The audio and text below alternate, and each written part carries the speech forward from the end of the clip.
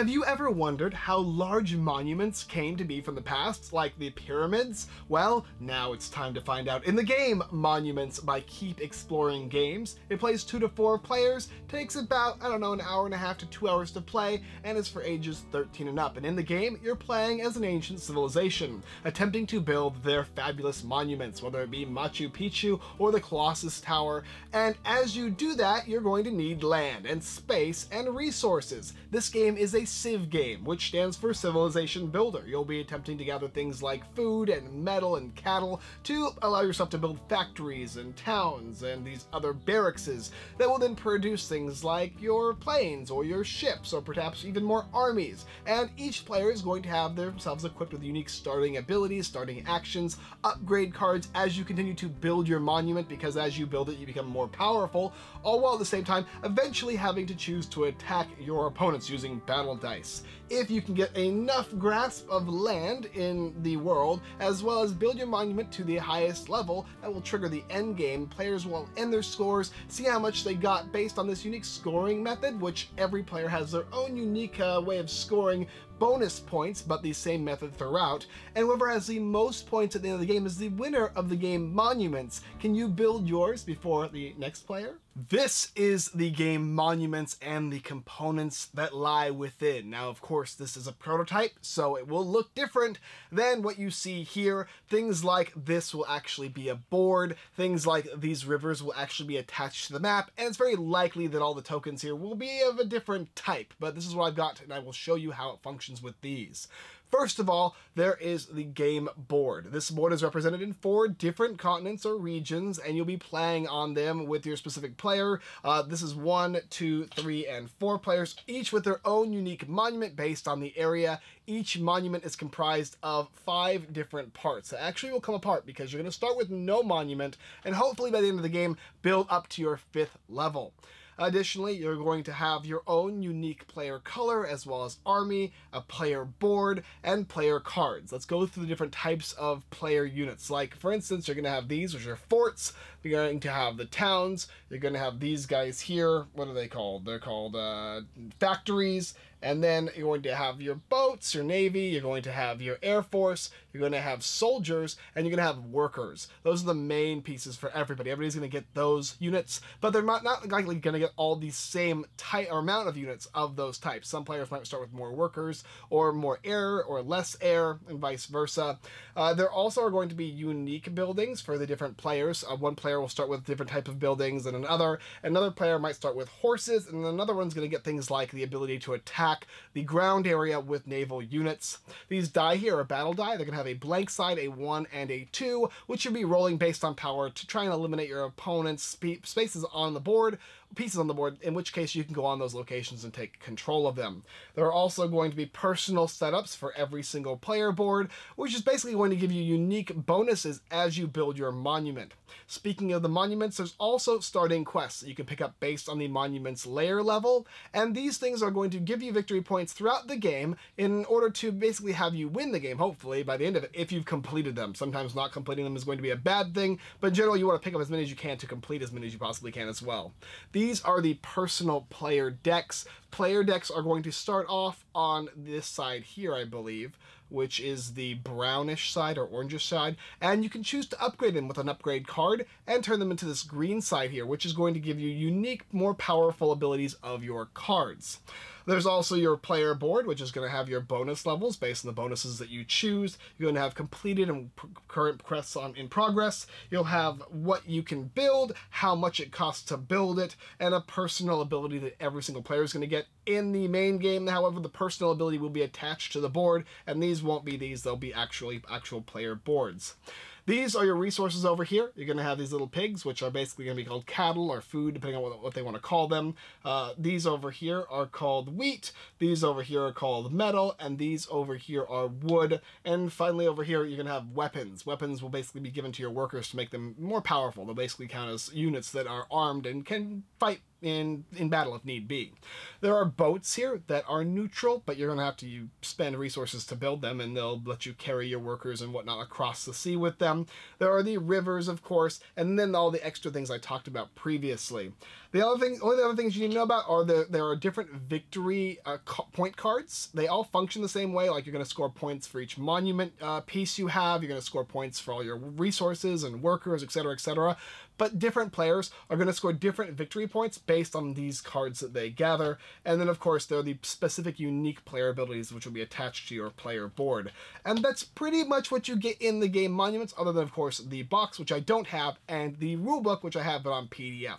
So let's go ahead and I'll go ahead and reset the game for two players, which is already halfway set up for two players over here. As you can see, there's another part of the board which I'm not using with two additional monuments, whether it be uh, Tikal or this, uh, I think it's like an Aztec Tech Monument. So we're not going to be using this side of the board in two-player game. It's mainly for a four-player game. So we'll show you this side of the board, then we'll show you the player boards on this side, how to set the game up, how turns are going to go, and then of course how you win and how you score points in the game Monuments. I've just finished setting up the two-player version of the game Monuments, minus one player's player board. However, I do have their little structures and whatnot set aside to give you an idea of what it would look like with additional players, as well as, of course, I have their units set aside based on their starting units, which we'll talk about in a second. Uh, additionally, these will not be there. Like I said previously, They'll actually be attached to the board, but right now, these are rivers, which means you can't go over them when you're moving unless you build a bridge over them, which is kind of cute. You can build these little bridges right over there. Uh, regardless, after you've chosen your location, so red's here and orange is here, this is where your monument is going to be built. You'll place three workers there, and then you're going to choose two locations to place one resource on each of the locations based on the resource type indicated on the location. They're in these little hexagonal areas. So this has got the wheat, you've got the cattle here, you've got the metal here, cattle, wheat, uh, so on and so forth. There's wood over there. And same for over here. So both of them have already chosen their cattle and their wheat to place there. Also set aside your bonus cards. These you'll be getting throughout the game as you upgrade your monument. Uh, you're going to have quest cards as well. You're going to choose from the starting quest deck, two of them, and pick one of them, discard the other, and place the starting quest in your quest in progress. This one simply says to control two copies of each resource and have four workers, and when you complete this, you'll simply go ahead and put it into your complete quest area. You can do it anytime on your turn. Additionally, you've got your victory point counter put on your scorecard area, which is going to indicate a unique type of scoring method for the game, as well as your starting supply and your personal bonus deck. For your starting supply, you're just going to simply set aside whatever it says to set aside. One town, an army, and an air force. So these three are going to be set aside. We won't be using them unless a card allows us to in the game. This is our general supply pool, which we can use to build, except for certain things like military units, where you'll actually need bonus cards in order to build them. After you've gone ahead and set aside the specific required uh, tokens and or uh, meeples, then you're going to go ahead and remove this card here. And then you're going to have this little uh, handy dandy bonus player ability. This one here lets me build horses. It's a unique thing that only I can do, whereas there are other ones that let you do different things, which we'll talk about in the review portion. Then you're pretty much ready to go. Go ahead and select a starting player, and this is the little crown to indicate the starting player, and make sure that that player all players have their monument handy with all five of the different levels. So you've got one, two, three, four, and then the fifth one right here, five and the game can begin. You're going to take your personal deck here, which everyone is going to get, and make sure everything else is set in a pool that you can go ahead and grasp. They're going to have the special ability, special bonus buildings. You're going to have your bridges, and then your weapons, which are kind of neutral things, and then, of course, all the resources and your boats, which are also neutral as well. This is the hand of cards you're getting, and these are action cards that will let you basically do the things you want to do on your turn. And the way it's going to work in the game is at the beginning of your turn, you'll choose one of these cards here, and then you will play it. When you play it, you do what it says, and after you've done what it says, you set it aside, and the next player will get to go using the cards in their hand, play an action, and set it aside eventually you're going to run out of cards. And when you do, instead of playing a card in your hand, you can choose to return cards from the pool that you played them previously back to your hand. You could do this after you've played two cards, one, it doesn't really matter, you can play out your entire hand, but eventually you're going to have to get the cards back in order to use actions once again. So for instance, if I wanted to use a trade action and on my next turn, I wanted to get that trade action back, I'd have to bring it back to my hand at the loss of a turn. So when you do do uh, choose to bring these back, make sure it's for a good reason. Uh, and that's pretty much how the game goes up until the point where you build your fifth monument. So let's go ahead and talk about what you can do in the game. And we'll do the ones that I think are the most relevant. I'll talk about how they, they function first. And the first one you always have to do is movement. And movement allows you to move up to two units one space, or their movement value, which is to begin with one, and it can increase on bonus levels. And so if you played this card here, you can move up to two units, one space, which hopefully you've placed your resources close by, and you can move those two units one space each. The upgrade for this is you can move up to three units their movement value. If this card is turned this way, you can play this like this and move three instead of two. And then you're going to have things like production. Production will allow you to basically produce on up to two tiles. Producing is going to allow a specific location or locations to produce their natural resource based on how many units you have there, as well as how many of the factories you have there. So right now, if I chose produce as my next action because I went, I did my movement, the next player went, now it's back to my turn, I choose to do production, I can then produce on these two locations, thusly giving me one wheat here and then giving me one cattle over here. It's a good way to gather resources to then be able to build buildings and whatnot, which tells you right here how much everything costs. Uh, speaking of building buildings, let's go ahead and talk about that next. Building buildings. You can build a building or repair a building that's been destroyed because at certain times during the game, uh, you're going to basically drop that over like that, and that means it's been destroyed, but you can repair it uh, with the build a building action. So, uh, as you can see, the build a building is going to allow you to build a building on a location with one of your guys here. So for instance, if I wanted to build something like, oh, I don't know, how about a town? It will cost me one cattle and it will cost me two food. So, okay, I guess the wheat is food. So I'll do. I would take these, I would take this, I return it to the supply pool, and then I could go ahead and build a, uh, a town. Now there is also additional cost to build uh, to build uh, more workers, which I'll talk about in a second. But building a town, placing out any of the one workers, and then I would be done. That'd be my build a building action. The next player would get, get a chance to go. Oh, I selected the wrong building. It's technically going to be a red one. The next player would get a chance to go, and then it'd be my turn again. I could do something like populate. However, in order to populate, I have to actually have two units next to my town. And when I can, when I do that by using my populate action, I will be able to produce another worker. And populate, when it first starts off, says you can place one of your towns with at least two workers, uh, one worker onto one of your towns with one worker, uh, or with two workers. And then with the upgrade ability, it'll let you do that with two. Moving on, we're going to have stuff like upgrading a card. To upgrade a card, you simply will pay the cost of the upgrade, and every card has its upgrade cost on it. Two cattle, one two metal, one cattle, one metal, so on and so forth. You would pay the cost of that, then you would flip it over. In order to have resources, you just need to have your workers be on that location with resources. So right now, the only thing that we control here is one cattle, and with orange here, we only control uh, control nothing, but we could control at least one food and one cattle, right? And so basically that's how you're going to be using resources. And uh, for the most part, that's how the game's going to function. We've talked about, we talked about building a building, how to upgrade a card. We talked about production, movement, and now we've got a couple other unique ones here to talk about. So for instance, we have attack. And to attack, you'll have to play this card, have a unit that's adjacent to another enemy unit, and then you're going to roll dice and attack uh, based on your power level. And power level will be determined on this chart here. Workers won't have power unless they have a weapon. Soldiers will have a certain amount of power you naval ships will have a certain amount of power in the in the sea, so on and so forth. And basically, you'll roll the die. Your opponent will roll the die, and whoever has the most will subtract that power from their opponent's army. Drawing quest cards. Based on your monuments level, you're going to be able to draw quest cards. And right now, if we were to play that card, we could draw two of these and have to keep at least one. These are basically more powerful or better quests, will give us more victory points at the end of the game, depending on if we can complete them. So this one, have, you have to have a coastal town, you have to have at least two completed quests. So if we did that action, we simply take two of these, keep at least one, or in this case, maybe I'll keep two, and then that would be it for that. Trading will allow us to trade resources from the supply for two to one, or if you had the upgrade, it could be one to one. Say training a special unit, which is technically a military unit, will let us train stuff like our airplanes, let us train things like our boats, and then of course our armies as well. And then the final thing is building your monument, and probably the most important thing. When you build a monument, it's going to be a cost over here. It'll tell you uh, in order to build what layer, how many areas you must control that are not this space here or this ice area over here. It will tell you how much wood, food, metal, and cattle you will need, as well as how many workers you have to actually remove from the game board in order to produce that specific monument layer.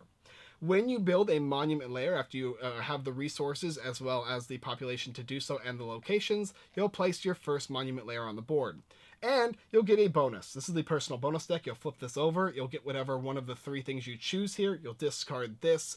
Then you're going to go ahead and select the bonus level deck based on your layer. Choose one of those cards and put it in your level 1 bonus area. And then you'll do the same for 2, 3, and level 4 as well. And these will stay here for other players to gather. Now, the faster you build your monument, the better odds of getting the cards you want from this area. And these cards will actually let you build things like special units. You're allowed to train a special unit. And special units are Air Force, Army, and boats. You can't train those unless you have this specific bonus level. Additionally, when you do choose to build special units, you'll actually have to remove workers from the board one for one for each one that you choose to build. And that's pretty much the idea of the game. You're going to keep progressing, you're going to keep building outward, you're going to be using things like these forts, which will have defenses on them. You'll be using these buildings here that let you populate. You'll be using these factories here, where if you do have one on a location where you choose to produce, you'll produce one for each worker, and then an additional one for having a factory. And of course, I keep choosing the wrong color, but I think you get the idea. So if I have these workers here, you can go ahead and place a factory on here, or maybe here in fact. And then when you go ahead and produce, the max amount of production you can do is three for each location. So in this instance, you've got one plus one and a bonus, which is three, and this has three units on it, which will produce three of these guys here. And if you had the upgraded ability to produce, you could choose another location as long as you had a worker on it to produce more resources. But I think you get the idea. Uh, planes are able to travel across this icy area here, as well as over the sea. Then you're going to have ships and ships will let you go ahead and go through from harbor to harbor across the water area. If you want to have your characters or your workers cross the ocean. So, for instance, maybe if this player ended up being able to build a bridge by spending the resources, they could then go across the ocean, this, this bridge here, and then they could build a boat here, and then they'll be able to move and they'll actually be able to move their boat across. Now in a two-player game you ignore this island, but this one is actually still fair game. So there's certain rules and regulations as to what spaces in the board are limited based on the number of players. But you can also hold up to, I believe, two units on here, whether they're the army slash military or whether they're just simply your workers. However, these boats are neutral, so if you lose them or you don't use them, somebody else can sneak aboard somehow and then have access to moving across the uh, sea as well. And that's pretty much it. After somebody is able to build their entire monument from level 1, 2, 3, and then 4, and their final little layer here, they're then going to trigger the end game, to which everybody is going to get uh, a turn up to the first player. And then you're going to score points. And you're going to score victory points per your card here. And this says six victory points for each monument layer. You're going to get a bonus if you have the fifth floor. You'll get one victory point for every three resources. And there's also going to be an up and down victory point thing. And in this case, it gives you one victory point for every three workers, whereas another one might give you one victory point for every uh, for every two workers. So this is the down as opposed to the up. And then you get one victory point for every land area that you control, one for every, three military power you have, and all the units have different power based on whether they have weapons or whether you have uh, different boats or ships and whatnot. Then you're going to get points for having duplicates of Army, Navy, Air Force, and weapons, points for upgrade cards, as well as your completed quests, and you're going to lose points for uncompleted quests. So you have to be careful not to have these at the end of the game. And remember, you, as long as you complete them, you'll simply flip them over and put them in the completed area, which will score you victory points. Otherwise, they're going to score you negative points in the game.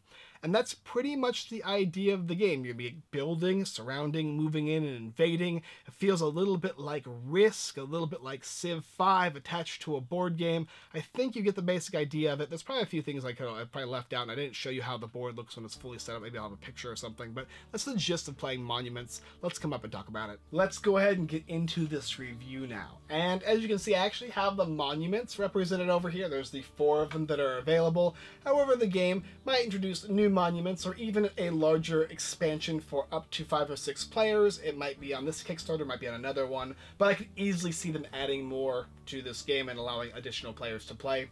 Then uh, I want to actually talk about some of the cards. I want to talk about uh, how the game functions, and we'll get into more of my review section, which I guess is kind of my review. But there are certain things that I think you guys should know about this game and what you should be doing first. And I think that's important for those of you interested in picking up the game. Movement is very, very important. It's what it's going to allow you to control spaces on the board, and it's also what's going to allow you to move your workers onto locations that have resources that you can then produce with and utilize those resources. If you don't have workers on a space that has resources, you can't use those resources. And in fact, somebody else will come along, take that space, and gain those resources. Production. This is important. This is what produces the resources in the game, so it's probably going to be your first two actions that you're going to do. That, of course, is going to be based on what buildings you have in the location and how many workers. Populate. That's going to give you more workers. Now, yes, you have to build a specific location, like a like a town or whatever, and then you also have to have a worker or two workers on that area, and then you can produce a worker. But having those is going to let you control more area. It's going to let you remove them to add new units that are special, that do more damage, that do more attacking aspects. So production and populate are very, very, very important. Building a building. These are going to be dependent on what you want to build. Now, do you want to build more towns to get more units? Do you want to build the forts to let you you defend yourself? You get bonuses to defense or to attack on your power in specific locations where you build them. There are unique buildings for the different players that will do certain things, uh, as well as there's also the horses for another unique player as well. Upgrading cards. This is key as well. Upgrading cards soon is better than upgrading them later because they give you discounts. Even upgrading the upgrade will give you a discount to upgrading cards, which is useful as well. Building your monument, of course, the most important thing in the game, but something that you need to strive towards slowly. Don't just simply try and do it as, as fast as you possibly can, because then you can be out-resourced, outmanned, and outmaneuvered, and if you're playing with more than two players, you can be in a lot of trouble by just trying to push the game to its end. This is not one of those games where you can speedily get across the finish line, unless people are really not paying attention to you and you're using a lot of defensive tactics training a special unit. These units can't be trained unless you have specific cards in order to gain, and depending on how soon you build your monument, monument will determine whether you can actually use defensive units or aggressive units, such as the soldiers and the ships and the boats and all that kind of stuff, the planes and the boats and stuff. And they also cost population to use them, so use them sparingly to begin with, and then progressively use them, especially if you want to be aggressive. Trading is something I didn't use too much, but when I did need to use it, it was very useful. Drawing quest cards is very important as well. It's what helps you win the game. You don't actually have to build all of your Monument to 5 to win the game. And in fact, it's not going to guarantee you a win if you do choose to end the game that way. Quest cards give you the most points throughout the game if you keep drawing them, because as you complete them, you're going to get one, two, and maybe even three victory points. And then finally, attack. This is something you're going to have to do in the game whether you want to or not, because you're going to need to control at least one or two areas of your opponent's land in order to get that last and final monument, unless you're playing defensive and somebody else takes control of another player's land, which can be useful as well, and is a tactic, to which will end the game and you'll score points. What's also nice about this game, which I, somewhere, here it is, I have a little scoreboard here, which I didn't talk about too much, but it has the player name, the victory points, and all of the different things you're going to calculate when scoring victory points. This is very useful to the game, and I think it's a very it's a must-have and a good addition, even for the prototype for us specifically. The fact that the different player boards have unique starting player abilities, have unique setups, and have their own deck of upgrades that you can get, as well as when you build monuments, you can then choose from a pool that everyone can select from based on who builds faster is also really unique. You're never going to play the same game twice. You don't have to select the same location, but if you do, it doesn't matter. It could change the way you're playing the game regardless. But overall, this feels like a full Civ game, and it's one of my favorite Civ games, if not my current favorite. I really, really, really enjoy this game. You do feel like you're building, you do feel like you're controlling more area. I'm not a big fan of attacking, specifically in Civ games, or even in most games in general. This game has a die rolling mechanic where if I have three units and they're both worth two power, I have six power, and if you have one unit and you, he's got three power, you have got three. I'll roll my six die, you'll roll your three, and then whoever has the most point value is the one who will win, and you'll subtract the power from the loser, and they'll remove units. And if they only have one unit, then they lose that unit completely, regardless of the power. So it's you, can get kind of screwed if you're not careful when choosing how to fight and using your tactics and battle plans wisely. If you like aggressive combat and, and power, you have that opportunity to do that. This is not like Risk where you must attack, attack, attack, attack. This you have options as to how you want to win the game, to play the game your way, which is what I really like about the game. Quality the components is very, very nice for a prototype. I'm very excited to see what the board looks like overall. I'm excited to see the rivers attached to the boards. I like all the different resources and all the different army units and all that kind of stuff. I think it works very well. It looks a little cluttered, but mainly just because this is a prototype and all the extra pieces that won't be associated or will probably be changed to make the game more functional. I've seen their previous two games, like Tour Operator, and this one does a very good job. I can imagine what this game is going to look like. They've done a really good job as far as sending out their games to their backers, so I wouldn't be worried about that as well. Overall, it's a very fun game. I really enjoyed it. My only nitpick is the combat, but that's not really necessarily a negative for the game. It's just more of a personal preference as to I don't want to attack and I don't like the randomness of the die because there are blank sides to the die. But overall, it's a heck of a lot of fun. I strongly, strongly suggest you take a look at this game. Thank you guys for watching another Unfiltered Gamer board game review. If you like this video, check out the rest of our videos here on YouTube. Like, subscribe, and comment, as well as taking a look at our website, unfilteredgamer.com, blog posts, giveaways, Kickstarter lists, and more. We're giving away a game on my CMON right now. Go ahead and pick it up if it's still available. Oh, one little thing too, I forgot. These boats, they're neutral. And if you build one as an action and your opponent puts their units on it, you've lost it. So you need to make sure you build these in the right areas. That made me a little frustrated, but it was my own personal misstep. So build them correctly. As well as checking out our friends, everythingboardgames.com, the giveaway geek. Uh, show me how to win before you play. They're all great people. And they have a ton of great content that you can go ahead and check even more than my own site. All right, guys, thank you so much for watching. And as always, I look forward to building a monument with you next time. I built a monument.